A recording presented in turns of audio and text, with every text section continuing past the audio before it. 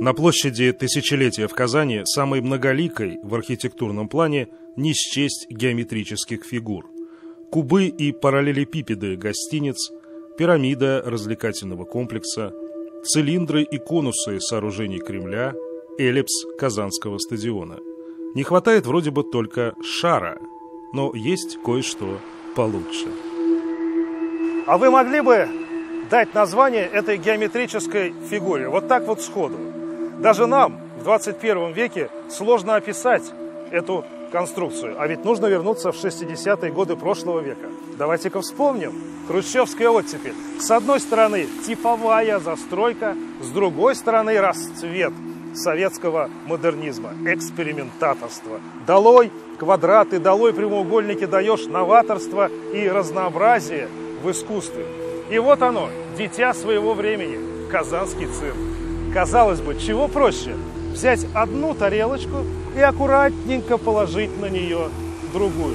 Но дело в том, что до казанских архитекторов никто в мире не решался даже высказать подобное вслух. Это было впервые. Сферический купол, коническая оболочка без внутренних опор, вы в своем уме? Да, это очень заманчиво.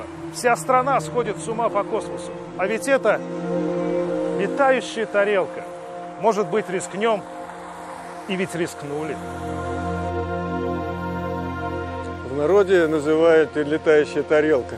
Но на самом деле это усеченный конус, поставленный на вершину. И купол где-то форма сложная, состоящая из двух частей. Конечно, это был прорыв вообще в нашем понимании архитектурно-конструктивной целостности. Удивительным образом в эти дни казанский цирк выглядит почти так же, как он выглядел 50 лет назад, в конце 67 года, на завершающей стадии строительства. Но путь до этой завершающей стадии был очень долг и тернист. Проектировала и строила его группа смельчаков из Института татар граждан проект. Вот эти люди, которых, увы, уже нет с нами – директор Института Узбек Алпаров, конструкторы и архитекторы Осия Берем, Геннадий Пичуев, Ефим Брудный, Валентина Панова. В архивах Татинвест граждан проекта и сегодня, и даже если пройдет еще 50 лет, можно без труда отыскать все, что вышло из-под пера этой могучей кучки. Это сотни томов чертежей и расчетов только по цирку. Мы с вами ничегошеньки не разберем в этих папках, но оценить этот титанический труд и смелость первопроходцев нам по силам. Существующий в Казани цирк, построенный более 40 лет назад с деревянными несущими конструкциями, пришел в ветхое состояние. Уже в течение шести лет Казань не имеет здания зимнего цирка. По ходатайству местных органов Министерство культуры СССР разрешило в порядке исключения разработать проект цирка в Казани. Совершенно верно. Порядки исключения. Конечно, раньше же ведь типовые проекты были. А это проект сделан индивидуально, конкретному месту. Но в этом и заключается смелость э, специалистов, инженеров, авторов этого проекта, в том, что они чувствовали уверенность расчетами и решением. Они были убеждены, что это смелость, решительность. Они смотрели на Немейера, его дворец конгрессов э, в новой столице э, построили. Здание Национального конгресса в столице Бразилии знаменитого архитектора Оскара Немейера, построенное в 60-м году, все же не было. Не было настолько сложным, как наш цирк. Конструкция, предложенная в Казани, не встречалась тогда нигде на планете. Это впоследствии что-то подобное, лишь подобное, кто-то станет копировать. Два года возводили цирк. У нас с вами есть вот эти уникальные кадры кинохроники. Всего несколько секунд. Вошла в историю и надпись вот эта. Ведь действительно успели к 50-летию октября. Аккурат к 7 ноября и построили. На этих кадрах как раз конец 67 -го года.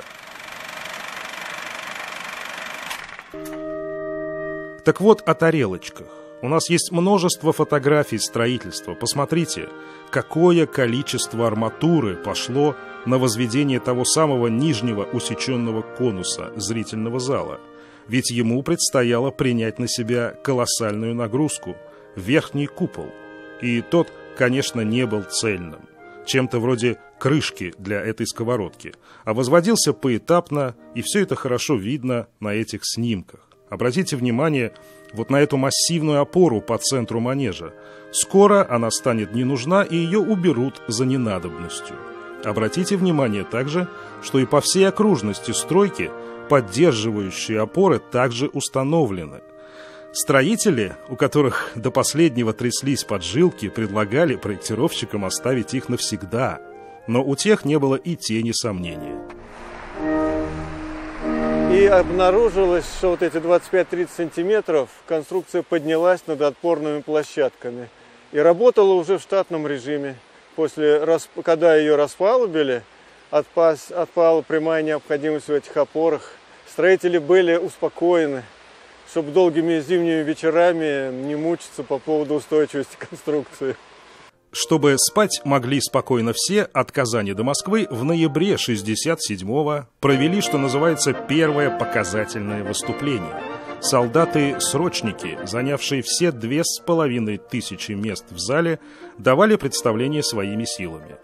Известный казанский художник Григорий Эдинов был одним из этих летчиков-испытателей – и такое, конечно, не забывается. Представление, конечно, мы не увидели. Представление давали мы. То есть внизу стоял, можно сказать, дирижер, который нам командовал. Хлопайте в ладоши, покричите, значит, ну, все радостные, орали. Кричали? Да, потопайте ногами, оттянулись по полной. Это 2000 летчиков-испытателей? Ну да. Так получилось? Наш комбат говорит, ну что, говорит, мужики, поздравляю, есть, говорит, всякие летчики-испытатели, но это, говорит, фигня. Вы испытатели цирков. На манеже Казанского цирка, да и во всех его помещениях, от нижних этажей с новыми, пардон, туалетами и гардеробными до купола манежа с ультрасовременным звуковым и световым оборудованием сегодня шумно как никогда. Уже весной мы не узнаем наш старый цирк. Давно уже ждете, я знаю. Ждем. Когда дождетесь Вопрос не ко мне, к строителям, не ко мне. Но работ на самом деле очень много сделано. Я э, объездил, побывал, вернее, в четырех цирках, где прошла реконструкция. Это Омск, Санкт-Петербург, Тула и Иваново. Но, на мой взгляд, у нас будет все серьезнее и солиднее. Практически цирк будет невозможно узнать после реконструкции. Начиная с, с кассового вестибюля, гардероб, общественные туалеты, зал, естественно, в первую очередь, наверное, об нем надо сказать, что это будет очень красиво все, однозначно. Кстати, интересная деталь, которую мало кто оценил, нам кажется. Привет нам от наших изобретательных архитекторов 60-х. Лестницы в фойе, оказывается, не просто лестницы. Посмотрите, это жирафы. Они так и названы в изначальном проекте 65 -го года. Не замечали? Так называемая лестница жирафа, вот она, это у нее э, а копыта так будет, а голова, вон она там наверху находится, у этого жирафа. Никто, наверное, не догадал. Я не знаю, кто об этом кто у нас... знает об этом, кроме вас. Нет, у нас, по крайней мере, у нас в коллективе цирка все знают, что такое лестница жирафа. Это все.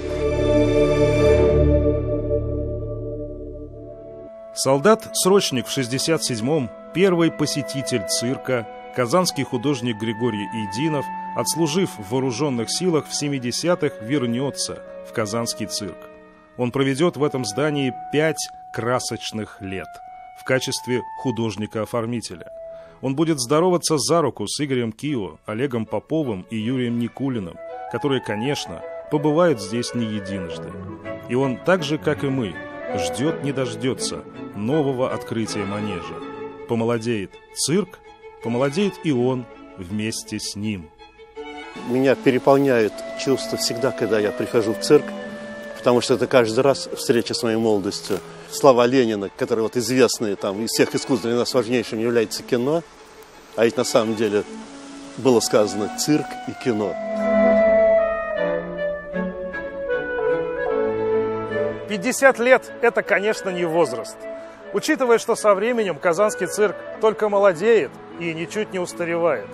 Говорят, что проектировщики в свое время называли цифру в 100 лет. Это если совсем к нему не притрагиваться и совсем за ним не ухаживать. Но совершенно же очевидно, что жизнь отмерила казанскому цирку куда больше. И, конечно, дело не в самом здании. Просто людям никогда не надоедает смотреть на себя со стороны.